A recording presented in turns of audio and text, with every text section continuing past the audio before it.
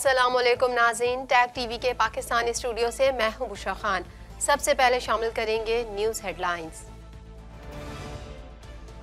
Toshakhana reference, Nawaz Sharif ने अदालत में सरेंडर कर दिया। नवाज़ शरीफ एहतसाब अदालत में पेश। तोशाखाना रेफरेंस में जमानत मंजूर। पंजाब हुकूमत ने अल अजीजिया रेफरेंस में नवाज़ शरीफ की सजा मअतल कर दी। पाकिस्तानी फ्रीलांसर्स के लिए बड़ी खुशखबरी आ गई। फ्रीलांसर्स अब कम अज कम दस्तावेजी शराइ के साथ डिजिटल या आम अकाउंट्स खोल सकेंगे। फॉरेन करेंसी अकाउंट्स में बरामदी आमदनी रखने के लिए हद 35 से बढ़ाकर 50 फ़ीसद कर दी। लाहौर में एक बार फिर स्मोक के खतरा मंडलाने लगे। दुनिया का आलूदा तरीन शहर करार। एयर क्वालिटी इंडेक्स की शरह दो सौ नब्बे तक जा पहुँची। फ़सलों की बाकियात कूड़ा जलाने वालों के खिलाफ मुकदमा दर्ज कराने का फैसला। लियाकताबाद टेम्बर मार्केट के ताजरों से गैर कानूनी तौर पर जगह टैक्स की वसूली नामंजूर। ताजरों का कहना है कि लियाकताबाद टेम्बर मार्केट में गैर कानूनी नोटिस की वजह से सख्त खौफ व हरास फैलाया गया। ताजर रहनुमा शर्जील गोपलानी का कहना है कि राशि अफसरान पुलिस की मदद से ताजरों से लूट मार कर रहे हैं। हेडलाइंस आपने जानी और अब शामिल करेंगे खबरों की तफसील। Laundry is no longer a hassle. Just toss an EcoFresh detergent strip into the washer for a convenient, eco-friendly yet powerful wash. Hypoallergenic, safe for sensitive skin. Say no to bulky plastic jugs and bottles. No more measuring and spilling. Just one strip for a load. Simple and squeaky clean. Plastic free, biodegradable packaging. Organic, paraben, phosphate, dioxane, and cruelty free. Order now at www.ecofreshcanada.ca or at Amazon. क्या आप Canada की immigration और citizenship लेना चाहते हैं या Canada में study करना चाहते हैं लाइटो इमिग्रेशन न सिर्फ़ आपको कनाडा की इमिग्रेशन और सिटीजनशिप दिलवाने में आपकी मदद कर सकते हैं बल्कि आपको कनाडा में सेटल और इन्वेस्ट करने के रास्ते भी सुझा सकते हैं लाइटो immigration is a regulated Canadian immigration consultant. We deal in study, work, PNP, and PR visas. Get startup visas, work permit, and business visas. We rise by lifting others. Lito Immigration.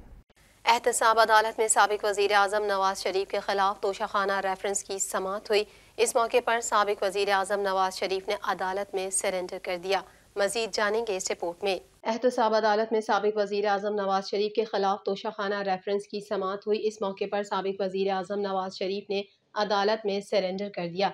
इससे कबल निगरा पंजाब काबीना ने अल Azizia reference में सबक वज़ीर अजम नवाज़ शरीफ की सजा मअतल कर दी। जराए ने बताया कि क्रिमिनल प्रोसीजरल कोड सेक्शन 401 के तहत हुकूमत मुजरिम की सजा मअतल करने का इख्तियार रखती है। मीडिया रिपोर्ट के मुताबिक दौरान समाज जज मोहम्मद बशीर का कहना था कि नवाज़ शरीफ से भी दस्तखत कराए जाएँ।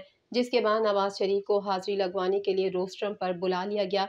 जज मोहम्मद बशीर ने नवाज़ शरीफ को हाजिरी लगाने के बाद जाने की इजाज़त दी। नवाज़ शरीफ हाजिरी लगाने के बाद एहतसाब अदालत से रवाना हो गए। नवाज़ शरीफ की आमद पर कारकुनों की बड़ी तादाद और लोगों के हजूम के बाईस कमरा अदालत का दरवाज़ा बंद कर दिया गया। नवाज़ शरीफ ने निश्चित पर खड़े होकर अपनी हाजिरी लगवाई। इस मौके पर अदालत के बाहर सिक्योरिटी के सख्त इंतज़ाम किए गए थे। पुलिस और कानून नाफिज करने वाले इदारों के अहलकारों की भारी नफरी तैनात की गई थी। कबल अजी मुस्लिम लीग नून के कायद नवाज़ शरीफ की पेशी के मौके पर अदालतों की सिक्योरिटी सख्त कर दी गई थी, जबकि एहतसाब अदालत में बम डिस्पोजल स्क्वाड ने कमरा खाली करवा कर तलाशी भी ली। पाकिस्तान मुस्लिम लीग के कारकुनों की जानब ऐसी सबक वज़ीर आज़म के अदालत पर पहुँचने के मौके पर पुल निछावर किए गए, जबकि इस मौके पर आज़म नजीर तारड़ का कहना था की बाहर सड़कें बंद है अवाम ही अवाम है। दूसरी जानब अल अजीजिया रेफरेंस में निगरा पंजाब पंजाब काबीना ने सबक वज़ीर अजम नवाज़ शरीफ की सजा मअतल कर दी। हुकूमती जराये ने बताया कि निगरान हुकूमत ने क्रिमिनल प्रोसीजर कोड के सेक्शन चार सौ एक के तहत सजा मअतल की।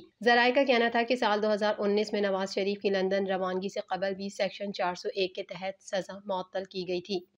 स्टेट बैंक ने फ्री लांसर्स के लिए फॉरेन करेंसी अकाउंट्स में बरामदी आमदनी रखने की हद बढ़ाकर पचास फ़ीसद कर दी। फ्री लांसर्स अब कम अज कम दस्तावेजी शराइ के साथ डिजिटल या नॉर्मल अकाउंट्स खोल सकेंगे। मजीद तफसीत इस रिपोर्ट में। स्टेट बैंक ने फ्री लांसर्स के लिए फॉरेन करेंसी अकाउंट्स में बरामदी आमदनी रखने की हद बढ़ाकर 50 फ़ीसद कर दी। फ्री लांसर्स अब कम अज कम दस्तावेजी शराइ के साथ डिजिटल या नॉर्मल अकाउंट्स खोल सकेंगे। स्टेट बैंक ने बरामद कुनंदगान और फ्री लॉन्सर्स के लिए फॉरेन करेंसी अकाउंट्स में बरामदी आमदनी रखने की हद 35 से बढ़ाकर 50 फ़ीसद कर दी। तफसीत के मुताबिक स्टेट बैंक ने आईटी बरामदार और आईटी से मुतल खदमात को परवान चढ़ाने की गर्ज से बरामद कुनंदगान और फ्रीलांसर्स की सहूलत के लिए नए इकदाम मुतारफ करा दिए। मजीद बरा पाकिस्तानी रुपए में बुनियादी अकाउंट के साथ ही उनके E S F C accounts खोल दिए जाएँगे। मरकजी बैंक की जानब से बैंकों को हिदायत की गई बरामद कुनंदगान को ऑनलाइन अदायगियों के लिए डेबिट कार्ड जारी करें। फ्रीलांसर्स अब कम अज कम दस्तावेजी शराइ के साथ डिजिटल या आम अकाउंट्स खोल सकेंगे। फ्रीलांसर्स अपने E S F C accounts में हर माह पचास फ़ीसद तक बरामदी, आमदनी या पाँच हज़ार डॉलर रखने के मजाज हैं और स्टेट बैंक या बैंकों की पेश की इजाज़त के बगैर उन अकाउंट से तमाम अदायगियाँ कर सकते हैं। सूबाई दारुल हुकूमत लाहौर में एक बार फिर इसमो के खतरात मंडलाने लगे। फ़िज़ाई आलूदगी के लिहाज से लाहौर दुनिया का आलूदा तरीन शहर करार दे दिया गया। मजीद जान लेते हैं इस रिपोर्ट में।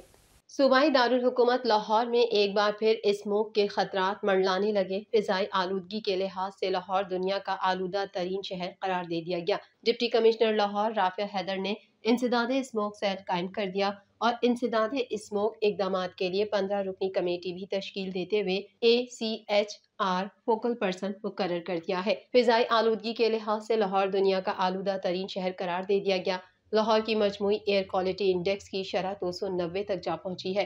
तफसीत के मुताबिक, सूबाई दारकूमत लाहौर में इस स्मोक के बादल छा गए और शहर के बेशतर इलाकों में एयर क्वालिटी इंडेक्स की शरह तीन सौ से तजावज़ कर गई। दूसरी जानब, डिप्टी कमिश्नर लाहौर राफिया हैदर ने इंसदाद स्मोक सेल कायम कर दिया और इंसदाद स्मोक इकदाम के लिए पंद्रह रुकनी कमेटी भी तश्कील देते हुए A C H R focal person मुकर कर दिया। राफिया हैदर ने कहा की फ़सलों की बाकियात कूड़ा जलाने वालों के खिलाफ मुकदमा दर्ज कराए जाएँगे और ज़्यादा धुआँ छोड़ने वाली गाड़ियों को मौके पर बंद कर दिया जाएगा। साथ ही फैक्ट्रियों जिग जैक पॉलिसी पर अमल न करने वाले भट्टा मालिकान के खिलाफ ज़ीरो टॉलरेंस होगा। डीसी लाहौर का कहना है कि इंसदाद स्मोक सेल स्पेशल स्क्वाड की कार्रवाई की निगरानी भी करेगा और सेल जिला भर को स्मोक फ्री बनाने के लिए कार्रवाई का दायरा कार वसी करेगा। Chairman all Pakistan timber traders association का कहना है कि लकड़ी की तैयार शुदा मसनूआत या लकड़ी पर मस्कूरा कानून लागू नहीं होता। लिहाजा मस्कूरा टैक्स की वसूली गैर कानूनी है लियाकताबाद टिम्बर मार्केट के ताजरों से गैर कानूनी तौर पर जगह टैक्स की वसूली मंजूर नहीं। मजीद तफसीत इस रिपोर्ट में।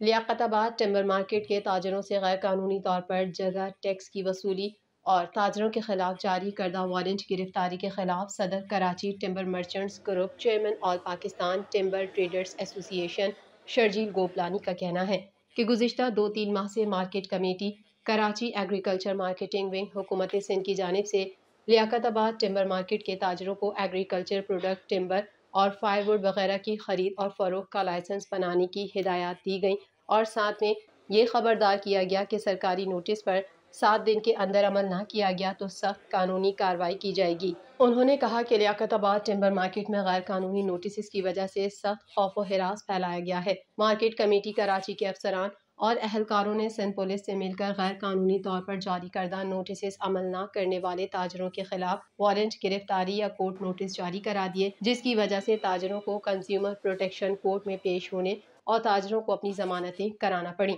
शर्जील गोपलानी ने मजीद कहा कि मार्केट कमेटी कराची के बास, राशि अफसरान और अहलकार एक मनसूबाबंदी के तहत पुलिस की मिली भगत से लाइसेंस बनाने की आड़ में लियाकताबाद टिम्बर मार्केट के ताजरों से लूट मार कर रहे हैं। लियाकताबाद टिम्बर मार्केट के कई ताजरों से थाने और कोर्ट में पेशी पर हज़ारों रुपए अफसरान, अहलकारों और पेशकारों ने रिश्वत दी उन्होंने मजीद कहा कि लियाकताबाद टिम्बर मार्केट के बेशतर ताजरों ने कानूनी चाराजोई से जान छुड़ाने के लिए हज़ारों रुपए देकर लाइसेंस हासिल किए। ताजरों से गैर कानूनी तौर पर लाइसेंस बनाने के लिए रकम ली गई, मगर ताजरों को सरकारी तौर पर कोई रसीदें नहीं मिली, जो लाइसेंस दिया गया, वो जारी लग रहा है। उन्होंने मजीद कहा कि हम प्रिंट, इलेक्ट्रॉनिक और सोशल मीडिया के तवसत से chief justice supreme court, chief justice Sindh high court governor Sindh वज़ी अला सिंध वज़ी ज़रात सिंध और दीगर से अपील करते हैं कि वो इस मसले का फौरी नोटिस लें। मजीद खबरें भी बुलेटिन का हिस्सा होंगी इस ब्रेक के बाद।